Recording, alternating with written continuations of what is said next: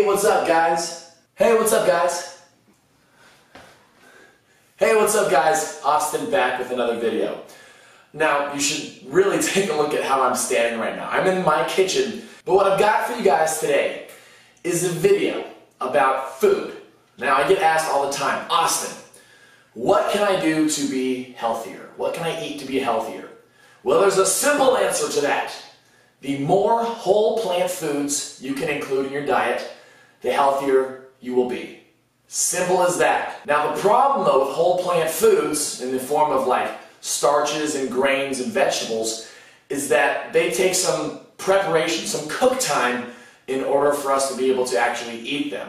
And humans in general are, you know, we're pretty lazy. We don't like to do things. We'd rather just have it ready so we can just eat it right away and not have to think about it. So that is where the whole meal prepping idea comes into play. And so what we're to do today is we're to prep some sweet potatoes. Now sweet potatoes are awesome. They're a great food that you can add to a variety of different dishes. They're very versatile. You can use them in a lot of stuff and they're great to have around. But you know, we can't just go around eating raw potatoes. That's wrong. So potatoes need to be cooked, but cooking takes time. And so the most efficient way to cook potatoes is to try to cook them in a big batch. And that's what we're to do today. And the goal of this video really is to just show you how simple it is. You know, when I talk to people about following a more plant-based diet, a vegan diet, everyone's like, whoa, it's just mm, too much preparation for me. Prepping things like sweet potatoes and other starches, other vegetables, things like that, it's not that tough. And so today we're to see just how easy it is to prepare some sweet potatoes so that you know how to make them so you can have them on hand throughout the day. That way you're more likely to eat something good for you, whole plant food, sweet potatoes, than something bad for you, something processed, something that you can just, you know, cook up real or just pop in the microwave or just eat it real quick. You know, we want to try to avoid those processed foods. Whole plant foods, that's where it's at. So, with these sweet potatoes, I've got about 1,500 grams of sweet potatoes right here.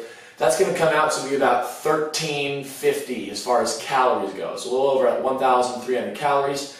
You add 200 gram servings to whatever meal you're doing, that serves you for about, you know, seven meals worth of sweet potatoes, which is awesome. Oh, my knees are cramping up from holding this position.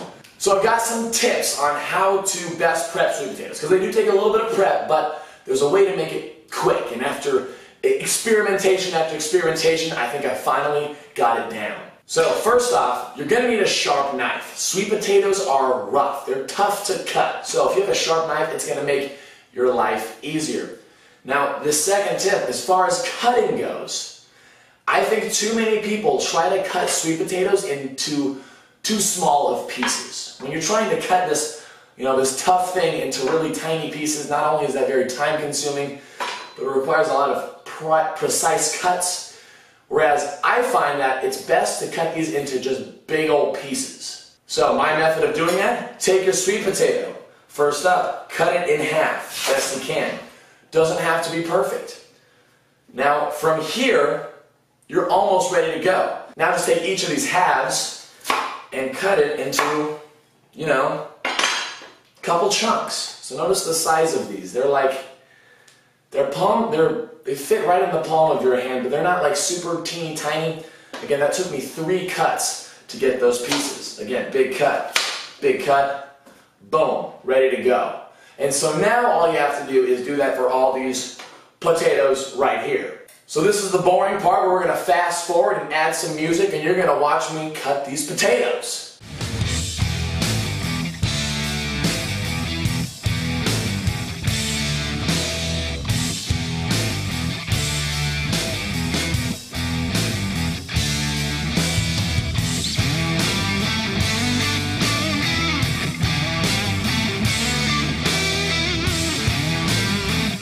Right, guys, I'm literally on my knees because I just, I cannot hold that stance anymore. If I want to do any other kitchen videos, I think I have to find a different way on how to, uh, how to set up for it. Because right now with that cabinet, the whole being tall thing, it's not happening. So, um, anyway, this is me kneeling, and here are the potatoes. Time to prep them. We've got a big bowl right here. Obviously, you need a big bowl if you're going to mix a lot of stuff. So, part two, or three, throw them in.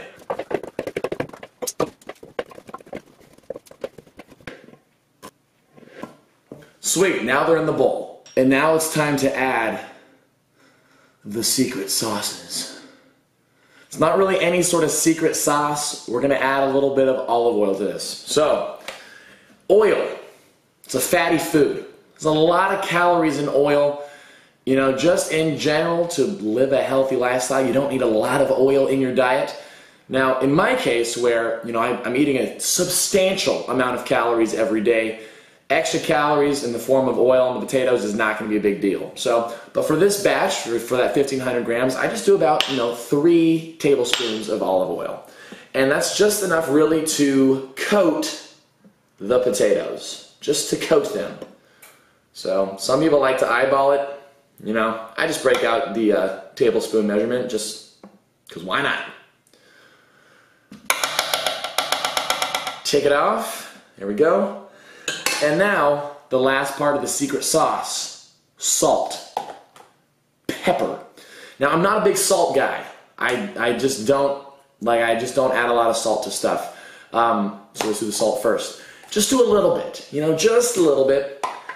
So just a little pinchy pinch for all those potatoes. Just a pinchy pinch. That's all, that's all I throw on. That's all you really need, especially if you're mixing it in with other foods you know, if you like salt, you can add a little salt to your meal once it's all done. But, you know, if you're just roasting potatoes, you don't need to throw on a crap ton of salt before you even put them in the oven. After that, black pepper.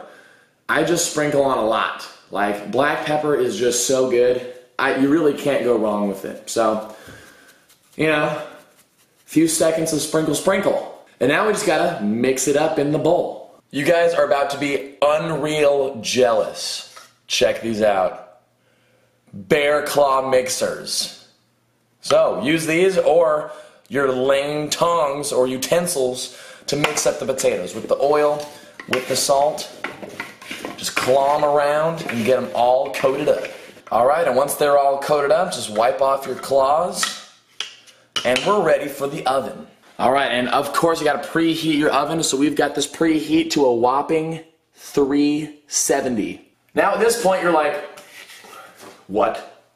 370? Why not 375? Why not 350? Why not 400? And this brings me to the real question of this video. Why is it that for every recipe, anything you look at, the number for the oven always ends in either 25, 50, 75, or 0? While every oven has the ability to adjust for every 5 degree increments. And so because of that, I tested it out, and that's right. 370 works awesome for these potatoes. To give them a nice crisp on the outside, but cook them all the way through. 370 is the way to go. Go against the grain. You know what? Just give it a try and see how it works out. Okay, so oven set to 370. Let's go ahead grab the potatoes, and now we put them on the pan. And now since they're oiled up, they can go directly right onto the baking sheets. Boom, just like that. And now throw all your crap in the sink. I'm gonna need those bear claws back, or just one. So grab your bear claw or your tongs, spread these out. I think a general logical rule of cooking, even if you've never cooked anything, is you probably don't want stuff sitting on top of each other. So just spread them out. Looks pretty good. Spread them out, other one. Looks pretty good. And we are ready for the oven. Don't burn yourself. Ooh. Boom. Close that up. And what we're gonna do is we're gonna go for 20 minutes. Now wait a second, 20 minutes? That's not enough time. Well, that's correct. It's not enough time. But we're gonna start with 20 minutes, flip them, and then do another 20. So right now, we wait. So I was thinking we could talk for 20 minutes. No, just kidding. We'll fast forward. Alrighty, 20 minute timer has gone off. Time to take these puppies out. I just realized I said puppies and uh, but never put a puppy in an oven. Come on. So now we mix these up. Nothing fancy. Oh, do you need to flip everyone perfectly over? That's what usually recipes say, but who has time to flip every single potato over perfectly? So, you know, just move them around, flip some. Maybe you won't flip them all, but it's all to be okay. Other one, little bit of flippy floppy. Back in the oven they go for another 20 minutes. And you know what that means? That means you get to go hang out, do whatever you want for 20 minutes. So go have fun. Alrighty, the grand finale. Here they are. Check those out. They looked like they were handcrafted by a master chef, but instead they were crafted by me. And boom, just like that, with just a little bit of prep time, we just made some sweet potatoes. 1,300 calories worth of sweet potatoes.